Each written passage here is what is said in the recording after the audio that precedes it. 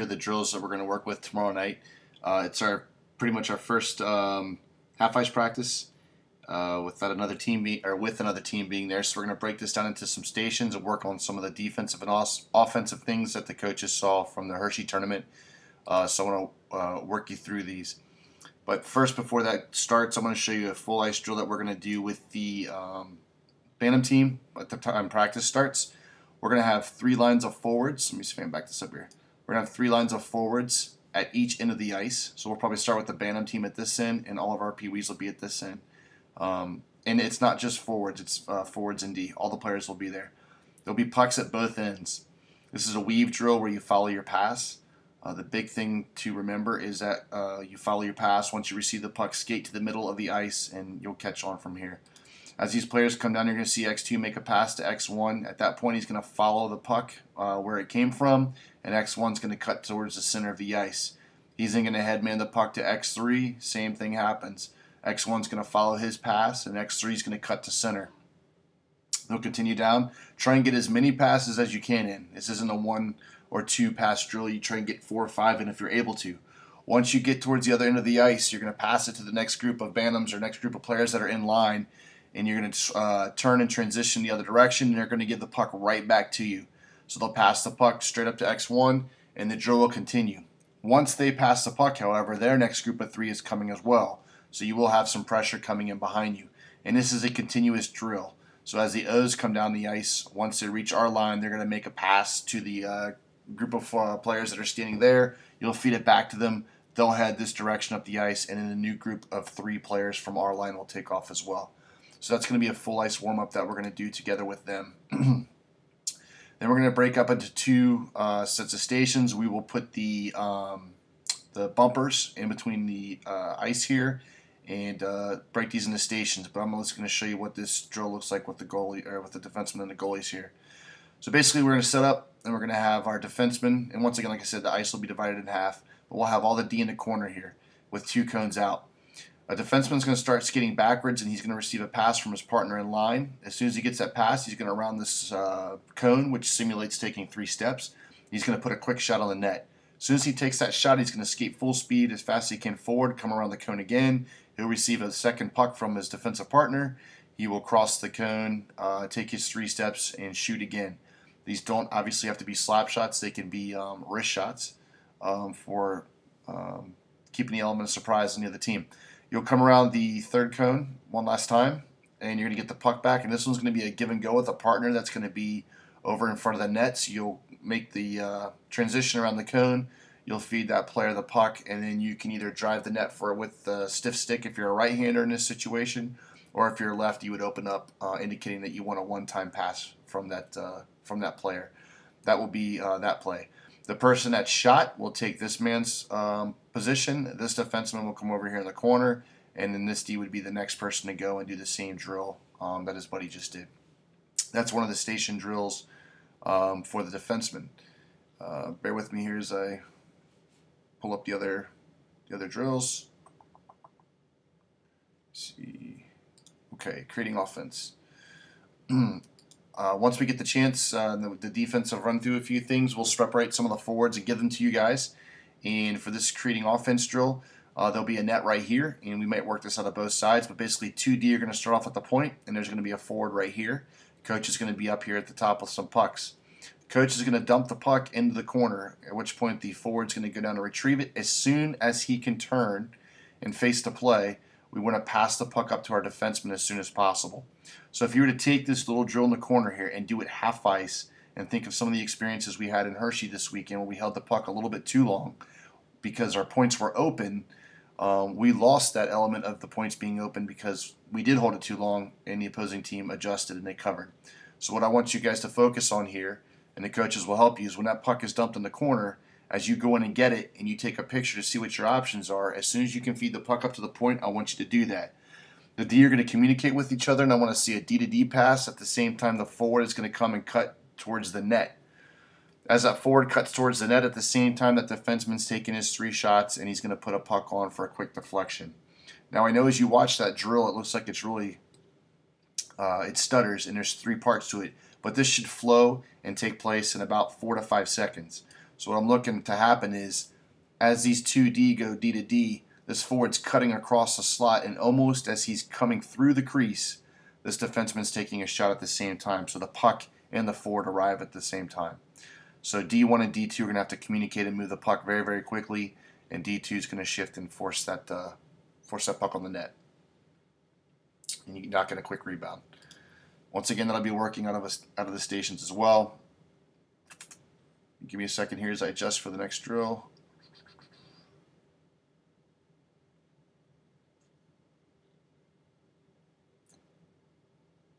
Okay, the forwards will be working on uh, this on one side of the ice while the D are working. What I want you to notice is uh, it's going to work our goalies, but it's also going to work on um, our forwards as far as shooting off our back foot and also cutting the seam. I had this drawn half ice, but again, we're going to work it into a smaller portion of the ice so we can do a couple things at once. Um, the goalie uh, is going to start this drill off on their stomach. Um, as soon as you hear the coach smack the ice, the goalie is going to jump up, and then the coach can pick any one of these players to pass to. In this instance, you're going to see him pass to the low forward, and the low forward is going to walk the goal line, and he can either try and stuff it on the short side or stuff it on the long side. As soon as you take your shot, you need to sprint back to the position in which you came from, and then the coach can pick another player as well. In this instance, you're going to see the coach pass out to this forward. I want to see the forward come down and cut across the seam, which is going to make the goalie transition and move. As soon as you cut across the seam, we're going to practice shooting off our back foot um, which is going to be a little bit different for some of you, but it's going to give you, uh, it's going to catch the the goalie off guard. I'm not sure if I show the uh, rest of the transition here, but the way we'll add the second part to this drill is you're going to see the coach pass the puck out to this forward. This forward's going to step out, and he's going to shoot a shot in such a way that if his if his uh, partner was driving the net, we're going to force a rebound off the goalie and force the goalie to put a, a, a rebound out in a um, not so uh, lose what I'm trying to say here. We're going to force the goalie to put a rebound out, out in the slot here. So if we have a partner driving the net on an outside drive, he can put that rebound in. And you guys will catch it before. It's actually one of the drills that Craig Laughlin ran um, last season. And it's a good way to get yourself to shoot um, in such opportunities where you're going to make opportunities for your teammates as well. So that'll be running on one side of the ice. Uh, let me get to the next drill here. Okay. This is called Run Ragged, and this is one of the things that we saw definitely um, in Hershey. And once again, you hear, heard me talk about the Joe Sakic um, example where he had the puck on his stick for a minute 19 during an entire hockey game, which means he spent the other 19 minutes um, trying to get open. Anytime we're on offense, we always want to have at least two opportunities. I don't want to start this yet. We at least want to have two opportunities of, uh, of someone to pass to. So we're going to force ourselves to look and see where these options are. Okay, and obviously we've cut the ice again in half. You need to transition this into your brain and think of it as if you were working on this half um, sheet of ice. How can we always make sure we have two opportunities?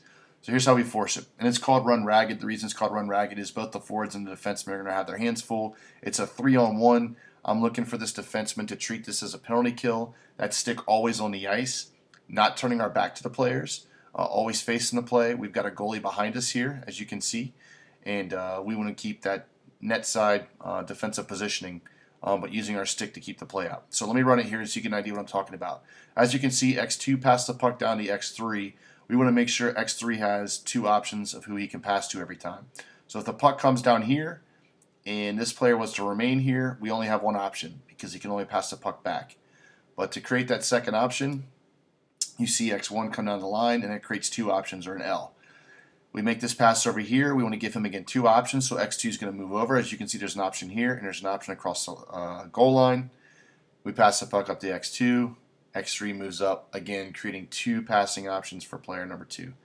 I don't show D1 moving in the drill, but D1 is obviously playing this three on one aggressively uh, we're going to let it run for about 30 seconds. Um, after three or four passes, we'll let you get a shot on goal with D1 clearing out some rebounds.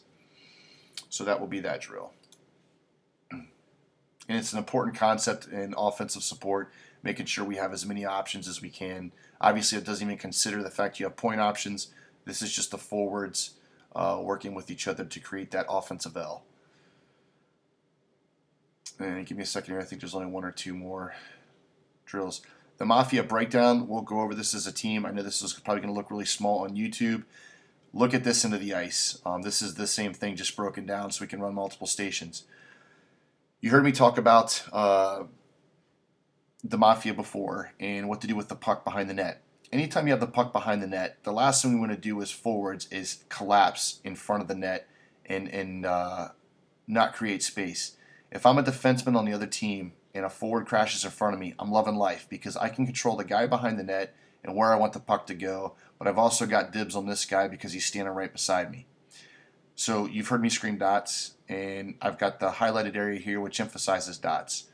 So anytime the puck is behind the net, we want to have, like the drill we just discussed, two passing options. So as you can see, I have a forward right here who's an outlet pass, but I also want to take this player right here and we would move him into one of these scoring areas in the dots. If you do that, you create havoc for these two defensemen because obviously if they leave the space in front of the net to come out and address you, then that allows this forward to wrap the puck around and get a shot on net. These two defensemen must respect the play behind the net, so this is no man's land. And I used my cell phone during the Hershey game to kind of record you guys on offense, and when you would come uh, to the bench, I would show you how this was always open ice right here because the defensemen were playing down low. Um, so what we're going to do is going to divide the ice here and we're going to work the same thing. Two defensemen, we'll have two forwards, and I'm going to give you guys five pucks behind the net. Uh, defensemen are allowed, not allowed to go behind the net, and this forward is not allowed to wrap the puck around. Uh, he must look for the dots plays and make uh, five consecutive passes to uh, these players for shots on net. Defensemen, we will go over how to protect behind the net. At the same time, if a pass is made out to the dots, how to get in the lanes to block those shots as well and I'm, that may be the last one. I think I drew one here. I do have a small game that we will do that will emphasize headmanning the puck and creating quick three on two rushes. Um, it's the, this drill right here. It's not the one on the right. Um, if we can get to that on the end. And then the coaches again spoke. Um, actually, this defensive coverage uh, drill you watched last week. We just did not get to that in practice, but we will work on that again so we can do our box plus one in the defensive zone. Uh, the coaches did discuss our um, conditioning as far as stops and starts, um, playing three periods of hockey at double A level. As you can see, that Hershey team was pretty well conditioned and moved the puck very quickly. Um, so we've got some um, change of direction, quick speed, agility drills that we're going to do as well. That pretty much covers it. Um, if you have any questions, shoot me a text. Otherwise, we'll go over it a little bit in the locker room and then uh, hit the ice.